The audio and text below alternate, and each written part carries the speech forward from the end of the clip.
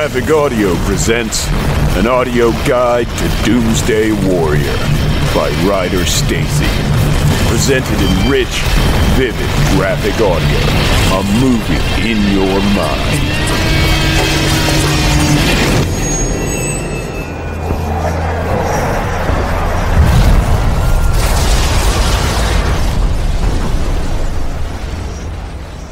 Time. It is 2089. An all out nuclear war has killed two thirds of the world's population. The Russians, who were able to get off many more of their missiles in a first strike, were victorious over the United States. Now in control of all of the world except China, they ruthlessly rule the People's World Socialist Republic. Place Atomic bombs exploded all over the planet, but primarily in the United States. The US lost 100 million people within one hour of the attack. Another 75 million died within a year. The Russians immediately moved in with massive transports of troops and weapons and quickly took control of much of the country. They built 40 fortresses in vital parts of the U.S., huge military complexes from which they send out search and destroy units of tanks and helicopters and radiation suited troops to extinguish the still burning embers of resistance. The Russians use the American citizens as slave labor, forcing them to grow crops and work in factories. The Russian High Command lives in luxury, the officers having taken the best housing in the remaining cities. The American workers must make do in shabby shantytowns around the fortress complexes. 35 million Americans are directly under the Red Rule. Sullen and docile, they carry out their Russian master's orders, but underneath, they hate them. They pray for the day when the legendary Ted Rockson, the ultimate American, will come with the free fighters of the hidden cities and release them from their bondage. Environment. The great number of bombs set off altered the Earth's axis. The polar caps began melting, and the forested regions turned to desert. The world is slowly warming, the higher amount of CO2 in the air creating a greenhouse effect. Lakes, rivers, and streams have dried up in many places. Ecology has almost been dealt a death blow from the war. 90% of the Earth's species of plants and animals are now extinct. The east coast of the United States is still extremely radioactive. Vast, bare plains stretch hundreds of miles in New York, Connecticut, New Jersey, and Pennsylvania, upon which nothing grows. At the edges of these hot zones are forests of mutated bushes and trees, covered with thorns and rock hard bark.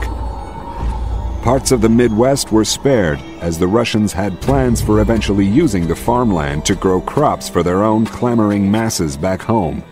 But the soil is now too radioactive to grow anything but weeds. American slave labor was taken out by the truckload to work, turning the soil in the medium hot zones, meaning death within a year from handling the rocks and topsoil still hot enough to send a Geiger counter off the edge. The far west has been hit hard. Colorado was spared, mostly because of some bad aiming, but further on, in Utah, Nevada, California, there has been heavy damage. The area is now a misty, unknown land, inhabited by bizarre species of mutants and cannibals.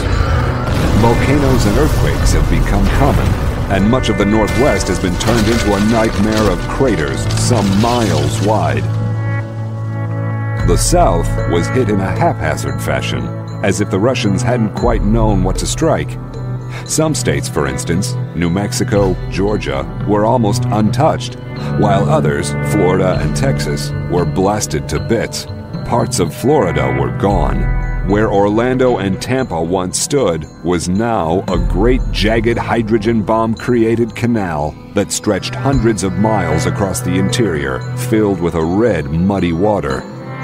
Slowly, life tries to force its way back onto the surface of the ripped and savaged land. Many forests have expanded over the last century in areas that weren't hit.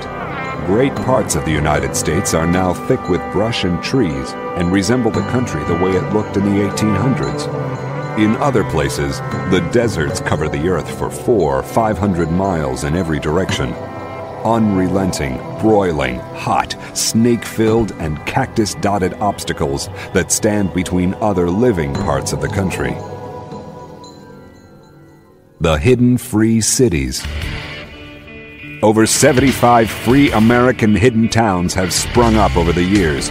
Located at the edges of hot zones, which the Russian troops are reluctant to enter, these towns, hidden in caves, mountains, deep wooded valleys, are made up of armed resistance fighters.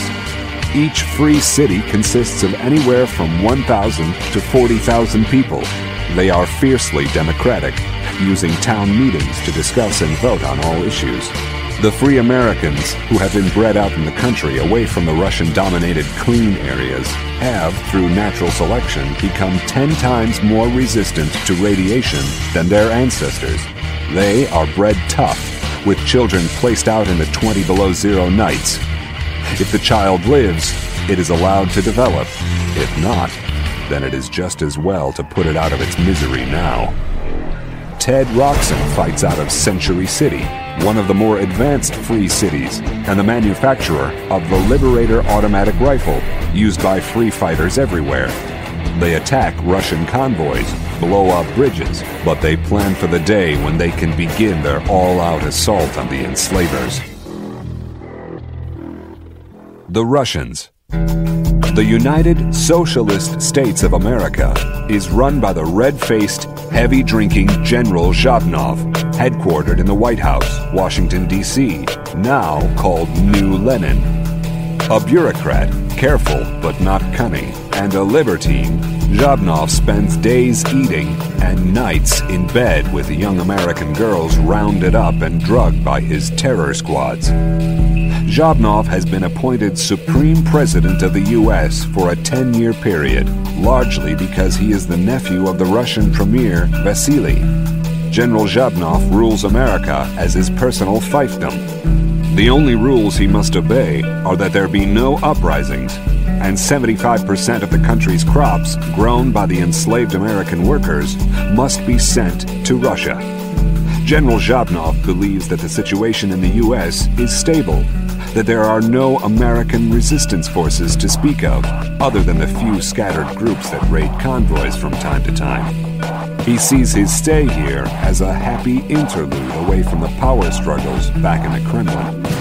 Colonel Kilov is the head of the KGB in the U.S., headquartered in Denver, Colorado thin, almost skeletal, with a long face, sunken cheekbones, and thin lips that spit words. His ultimate goal is to wrench power from the Premier and take his place as ruler of the world. Colonel Kilov believes General Zhabnov to be a fool. Kilov knows that the American forces are growing stronger daily and forming a nationwide alliance to fight together. The comparatively calm days of the last century are about to end. From Moscow, Premier Vasily rules the world. Never has one man ruled so much territory. From the bottom of Africa to Siberia, from Paraguay to Canada, Russian armies are everywhere. A constant flow of supplies and medical goods is needed to keep the vast occupying armies alive. Russia herself did not go unscathed in the war. 24 American missiles reached the Soviet Union, wiping out Minsk, Odessa, Leningrad, and Volgograd.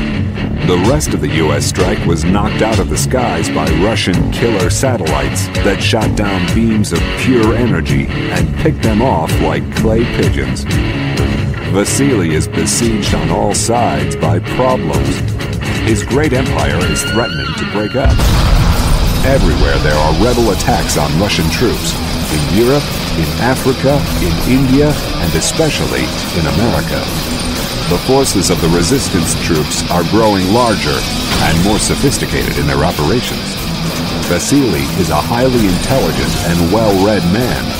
He has devoured history books on other great leaders and the problems they faced.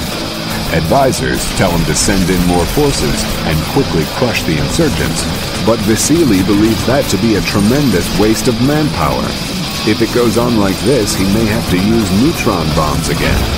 Order must be maintained, for Vasily knows his history. One thing that has been true since the dawn of time, wherever there has been a great empire, there has come a time when it began to crumble.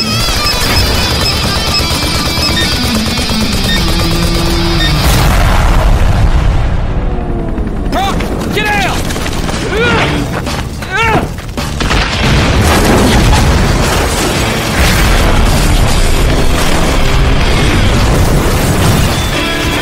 They will be led by one man. That man is Ted Rockson, the Doomsday Warrior. Keep firing! How many do you have left? Boom! Me too. On three. One, two, three!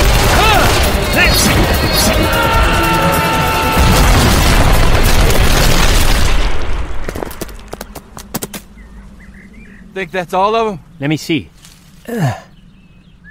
Yeah. That's quite a mess we've made. The Reds now have the Mind Breaker. Don't you see that device near you? The chair? Won't you have a seat? We must immediately mount a rescue operation and attack. I want them off the ground in three minutes. We will use two of the neutron bombs I have stored away just for this eventuality. We already know they made Preston talk. We saw what the result of that was. Every minute could mean the difference between life and death for every man, woman, and child in Century City. Come on, let's go. Soon! The truck's gonna get to us soon! We have a situation here in America. A critical one. Never mind! Kill Ted Rockson. Free is beyond what is here around you now. You must look beyond, beyond the destroyed land, beyond this fort, and see the new world that was and will be again.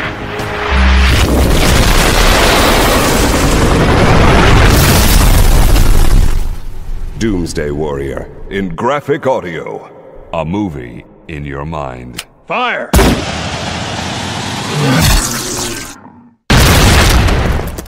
Holy sh! Yeah, I packed the explosive shells. Hope you didn't mind.